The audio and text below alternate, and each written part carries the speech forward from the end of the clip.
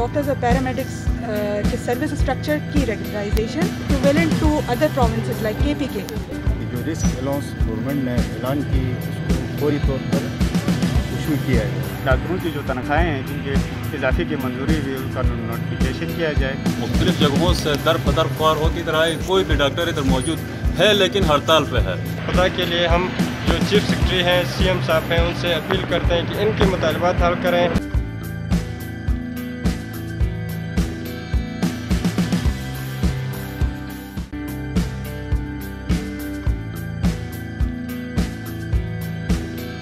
हमारे जाए तीन मुतालबात हैं पहले मुतालबा ये है कि जो रिस्क अलाउंस गवर्नमेंट ने ऐलान की, उसको फौरी तौर पर इशू किया जाए। और तीसरी, दूसरी बात यह है कि हमारे जो स्टाफ की प्रमोशन रुकी है, उनको जल्दी से जल्दी निकाला जाए। और तीसरी बात यह है कि हमारे सर्विस स्ट्रक्चर की जो काम रुका हुआ है, वो कोई पे तरह के दिया जाए। और चौथी बात हमारी सबसे बड़ी ये है कि जितने हमने कोरोना के लिए कुर्बानियाँ दी हैं, जान की भी दी हैं, वक्त पे जहनी तौर पे भी टार्चर हुए हैं। इसके बावजूद गवर्नमेंट से हम अपील करते हैं कि हमें जल्द जल्द से हमारी जो तीन मुतालबात हैं, उसको हल किया जाए, ताकि हम आसानी से काम कर सकें। प्रेसिडेंट वाइडिया ड्याम और हम, हमारा जो जी एच ए का एहतजाज है, वो इस सिलसिले में है कि डॉक्टरों के लिए, जो स्टाफ के लिए रिस्क अलाउंस की मंजूरी हुई थी, वो अब तक नहीं मिला वो दिया जाए।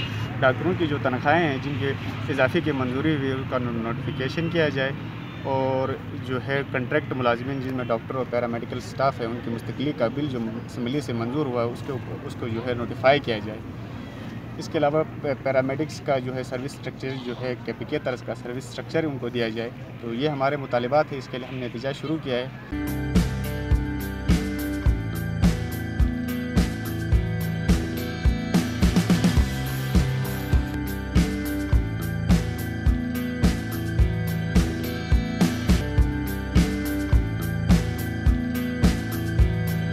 सना गयास यहाँ as L M O R H Q hospital Chilas को रिप्रेजेंट कर रही हूँ। आज का हमारा एहतजाज जो है वो ग्रैंड हेल्थ अलाइंस के प्लेटफॉर्म से है जिसमें Y D A P M A और पैरामेडिक्स तीनों की शमूलियत है और ये ऑल ओवर गिलगित बल्तिस्तान हम इस वक्त स्ट्राइक पर हैं। आ, हमारे जो मुतालबात थे जो ये तकरीबन चार पाँच महीने पहले अप्रूव हो गए थे उनको उनके ऊपर अमल दरामद नहीं होने की वजह से हम आज फिर स्ट्राइक पे बैठे हुए हैं। और हमारे जो पॉइंट्स हैं, सबसे पहली चीज़ डॉक्टर्स और पैरामेडिक्स के सर्विस स्ट्रक्चर की regularisation as per equivalent to other provinces like K P K फिर हमारी pay raise according to other provinces हम कैटेगरी सी एरिया के अंदर बैठे हुए हैं इस वक्त। इतना हार्ड एरिया है, कोई हार्ड एरिया के हिसाब से हमारी सर्विस स्ट्रक्चर और पे स्ट्रक्चर इस वक्त मेंटेन नहीं है। फिर कोरोना रिस्क अलाउंस का हमसे वादा किया गया था। हम फ्रंट लाइन डॉक्टर्स होने के बावजूद भी हमें कोई कोरोना रिस्क अलाउंस अभी तक नहीं मिला है। उसके अलावा सीएम इंसेंटिव हमारा जो आता था, उसको भी रोक लिया गया है पिछले चार महीनों से। और सबसे बढ़ के कॉन्ट्रैक्ट डॉक्टर्स की रेगुलराइजेशन जो यहाँ पे इतने अरसे से अपनी खदमात सर अंजाम दे रहे हैं, ऐसे ऐसे हार्ड एरियाज़ में रहते हुए और मुख्तलिफ़ आउटस्कर्ट एरियाज़ से आ कर के, यहाँ पर कैटेगरी सी के एरियाज़ में आकर के यहाँ सर्विसेज़ दे रहे हैं और उसके बावजूद भी उनकी रेगुलराइजेशन नहीं की जा रही।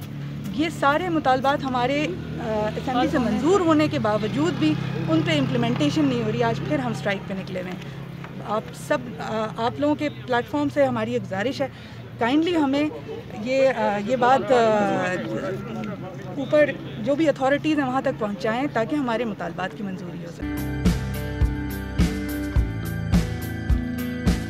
मरीज़ लेके आए हुए हैं और यहाँ पे आप देख सकते हो, एहतजाज पे सारे डॉक्टर्स और पैरामेडिकल स्टाफ यहाँ पे बैठे हुए हैं। कोई भी चेकअप के लिए तैयार नहीं है क्योंकि उनके भी मुतालबात हैं, उनके भी घर बार है और उनकी भी जान है।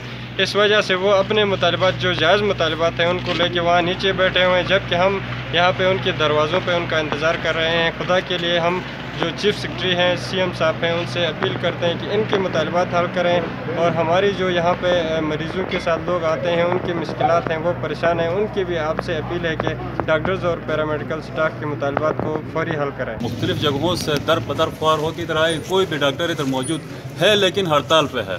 तो इनका कोई हड़ताल है, गवर्नमेंट आके एक्शन ले ले, कोई हड़ताल इनका ख़त्म करे, मरीज़ों को इधर मतलब चेक इन करने के लिए मतलब इनको दवाइयाँ मवायाँ जो हैं, इनको दे दें।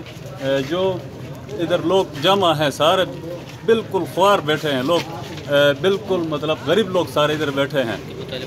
जो अमीर लोग हैं, वो शाम को जाकर क्लिनिक में भी चेक कर सकते हैं, लेकिन जो गरीब लोग हैं, वो इधर ख्वार बैठे हैं। जो डी साहब से अपील है कि वो आए इधर आकर, वो जो हड़ताल से, किस चीज़ की हड़ताल है, डॉक्टर के साथ बात करें और ओपीडी को ओपन करें।